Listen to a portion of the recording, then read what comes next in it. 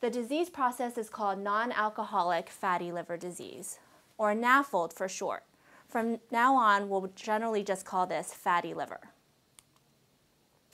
Fatty liver or NAFLD is the most common cause of chronic liver disease in children and adults in the United States.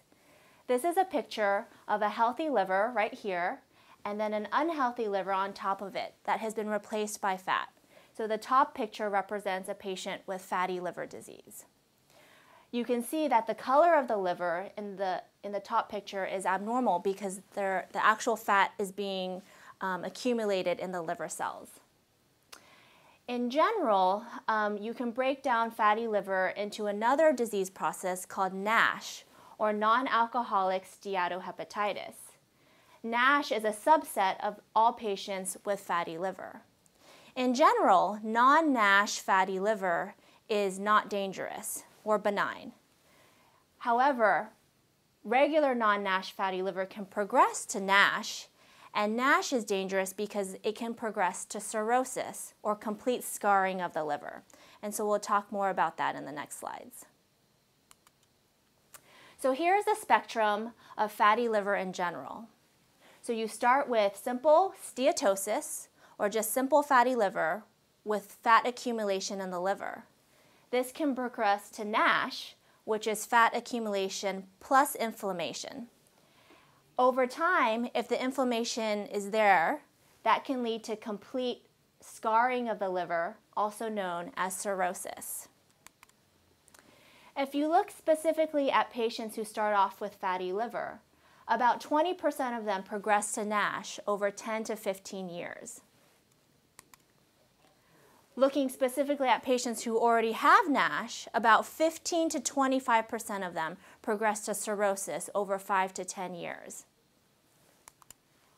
Once a patient develops cirrhosis, the statistics are grim.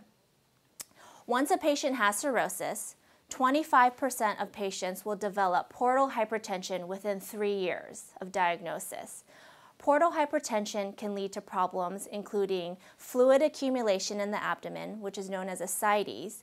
It can lead to bleeding problems, including vomiting blood, and it could also lead to an enlarged spleen.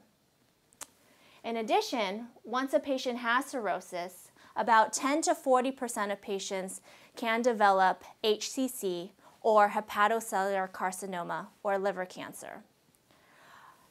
Overall, the mortality or death rates for patients who have cirrhosis is about 30 to 40% within 10 years. This is adult data. Um, we, do, we do have similar statistics for pediatrics. The scary thing for pediatrics is that cirrhosis has been described in children as young as 8, specifically for fatty liver. Let's look at the prevalence of fatty liver in pediatrics. So this was a paper that showed that the overall prevalence of fatty liver in all children is about 10%. If you only look at pediatric patients with obesity, meaning that their body mass index or BMI is greater than 95th percentile, that number, that percentage will increase from 10% to 40%. So fatty liver affects 40% of obese children. The prevalence of fatty liver also varies with age. If you see here, there's an increased prevalence starting at about the age 10 um, group. So ages 5 to 9, it's a 3% prevalence, and ages 10 to 14 is 11% prevalence. This is important because this kind of guides us on when we start screening patients for fatty liver. There's also a gender predominance. Boys are more likely to have fatty liver compared to girls. And if you look furthermore into different ethnic groups, you'll see that Asians and Hispanics have increased rates of fatty liver compared to Caucasians and African Americans. Interestingly, Afri African Americans have one of the lowest prevalences of fatty liver, and that's likely due to a protective genetic effect. Fatty liver has been linked with nearly 30% of U.S. Cancer, liver cancer rates. This is looking at statistics from 2004 to 2009, and fatty liver um, driven liver cancer um, was number two. The number one cause of liver cancer is hepatitis C at 48%. But now that there is effective treatment for hepatitis C, likely fatty liver will surpass, sur surpass hepatitis C in terms of um, etiology for liver cancer. And this is an example of an unhealthy liver with, a, um, with liver cancer. Once a patient has cirrhosis, often the only way to um, um, help the patient is to offer a liver transplant. This is looking at the percentage of liver transplants in the United States, and you can see here that hepatitis C is the main etiology for patients needing liver transplant because hepatitis C can also lead to cirrhosis. But you can see here this incline of NASH patients, and this only looks to 2009. And we suspect that over the next 10 to 20 years, if current trends continue, fatty liver will become the most common indication for liver transplant in the United States, and this is very scary. Looking at more recent data from 2015, you can see that this is a number of patients who are on the liver transplant wait list. So you can see that um, fatty liver in the solid line had a sharp incline from 2011 to currently, and it's going to probably be, become the number one indication for a liver transplant. Unfortunately, we do not have um, proven effective pharma pharmaceutical agents that can fix or reverse fatty liver. There have been studies done in pediatrics that looks at two medications, specifically metformin and vitamin E. That study, known as the TONIC study, showed that both metformin and vitamin E were no more effective than healthy lifestyle changes and weight loss in decreasing fatty liver in pediatrics. However, some gastroenterologists or pediatricians might use um, metformin to help with other comorbid conditions, including diabetes. Moreover, um, I encourage my patients to, instead of taking a pill, to look for natural sources of vitamin E. Um, vitamin E can be found in olive oil, broccoli, avocado, almonds, and peanuts. So just simply changing your diet, you can get more um, vitamin E.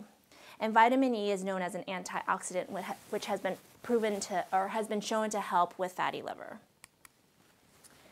So there's an easy way to screen for fatty liver in pediatrics, and that's through a blood test. We're specifically looking at a blood test called ALT. Um, looking at ALT goals, um, it differs for pediatrics and adults. In pediatrics in general, we, rate, we aim for an ALT less than 30 to 40. Different labs might have different thresholds, so don't get too alarmed if your lab has a different um, reference range. But in general, we want it to be less than 30 or 40. So if you believe you have fatty liver or your child has fatty liver, I would encourage you to um, meet with a gastroenterologist. The Fatty Liver Clinic at UCLA, the main goal is to rule out other causes of liver disease that masquerade as fatty liver, but also to prevent progression of liver, liver disease to cirrhosis. This is a picture of a liver biopsy that shows cirrhosis. You can see here the dark blue staining is all um, scar tissue of the liver. So what does the clinical workup involve?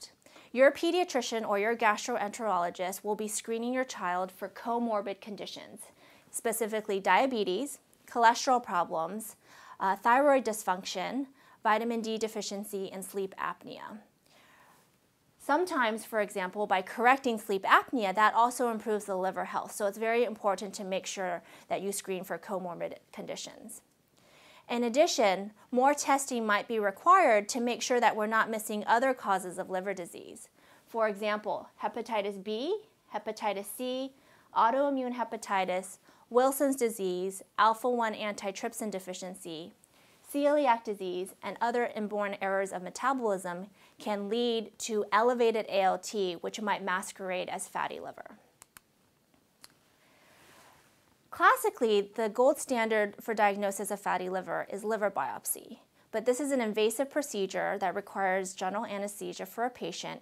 And so there are new research looking at ways to image the liver and get a diagnosis of fatty liver disease without a liver biopsy. Specifically, there are MRI techniques that are looking at fat fraction of the liver. So you can see here that the red colored um, is, more, is, is pure fat in the abdominal wall. And then we actually look at the entire liver and we can quantify how much fat is present in the liver. There's another MR, MRI technique known as MR elastography, and that's looking at liver stiffness, which, kind, which gives us a sense of how much of the liver is replaced by scar tissue. So in patients with high shear stiffness, they're more likely to have advanced stages of liver fibrosis. In patients who work with their pediatricians and gastroenterologists very closely and are, are simply unable to lose weight, in adolescence, um, we are starting to offer bariatric surgery for patients.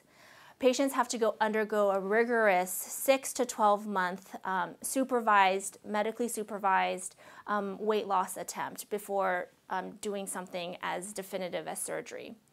According to the American Society um, of uh, Metabolic Bariatric Surgery, uh, patients who have a BMI of greater than 35 with major comorbidities can be considered for bariatric surgery. Um, if you have a BMI greater than 40 with some other comorbidities, you may also qualify.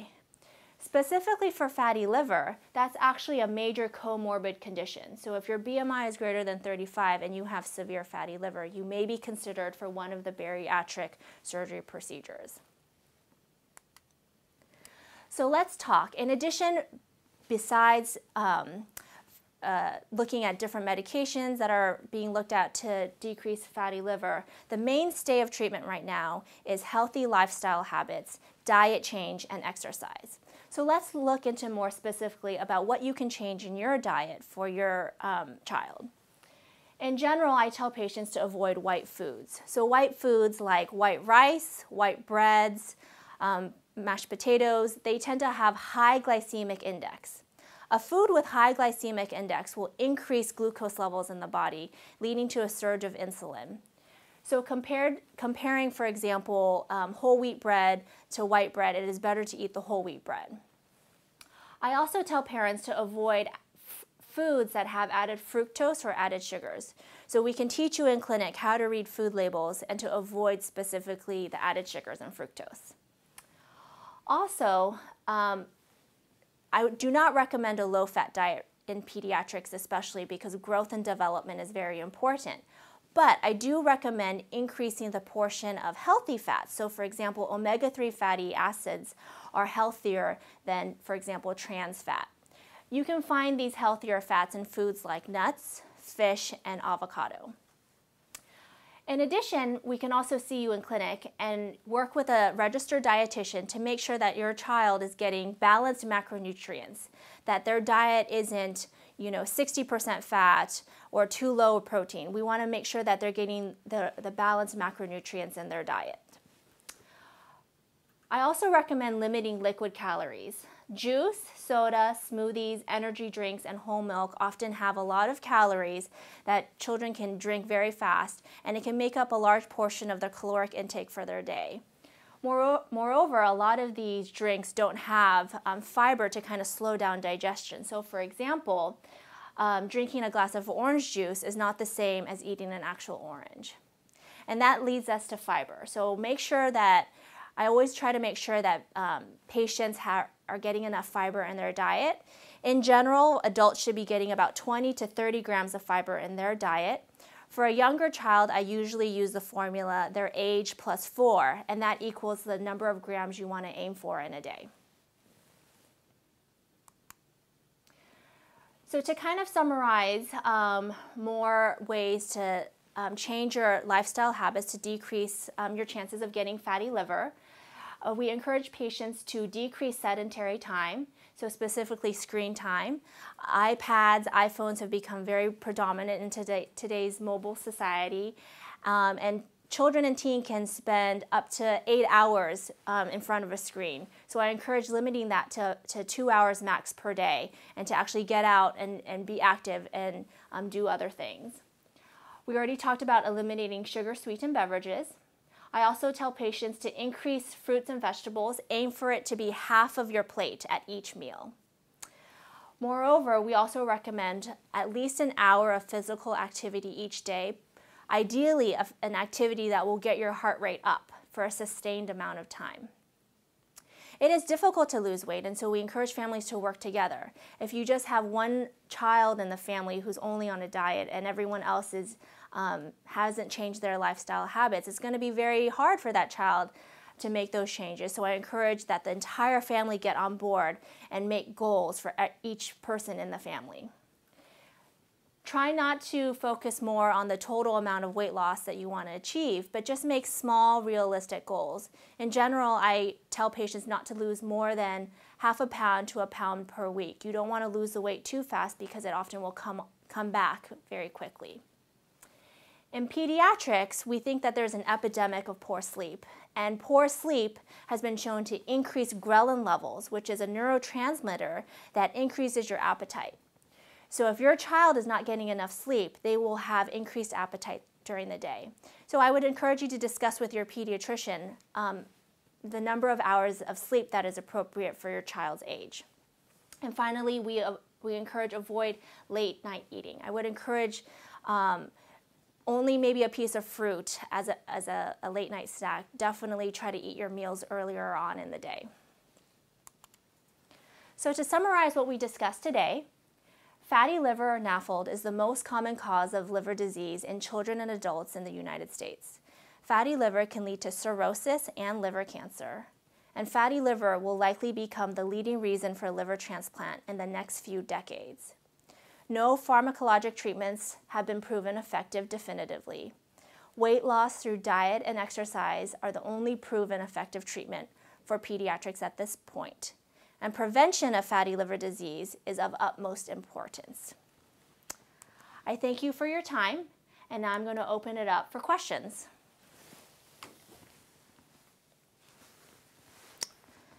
So the first question is, do all pediatric patients need to be assessed for fatty liver disease? So that depends on the child's age. It also depends on other factors including ethnicity, family history of fatty liver, family history of cirrhosis, family history of liver cancer. In general, the guidelines show that if a child is obese, particularly after age 10, because that's when there's increased risk of getting fatty liver. If your child is obese, meaning that your body mass index is greater than 95th percentile, um, I, we definitely recommend annual screening for fatty liver with a simple blood test. For patients 2 to 10 years age, 2 to 10 years of age, that may not be mandatory, but it's often encouraged for screening. Um, in babies, we don't particularly worry about fatty liver because it does take years to develop fatty liver. If someone's suspecting liver problems in ages 0 to 2, usually it's not fatty liver, and it's usually some other diagnosis. The second question is, do all fatty liver disease patients need liver biopsy? Definitely not. So a lot of patients um, will fall into the category of fatty liver, but um, if you just have st simple steatosis but no inflammation, um, then we basically will just monitor you and you don't need a liver biopsy. The main um, question that we do for liver biopsy is if we suspect advanced scarring or advanced fibrosis in a patient and we need to know the extent of liver damage. It's also, liver biopsy is also useful in patients that we're not sure, not, we're not 100% sure on the diagnosis of um, fatty liver disease, and we need to rule out other causes of um, liver disease. So if there's not any more other questions, I thank you for your time. I hope you enjoyed the webinar, um, and I hope you have a great day.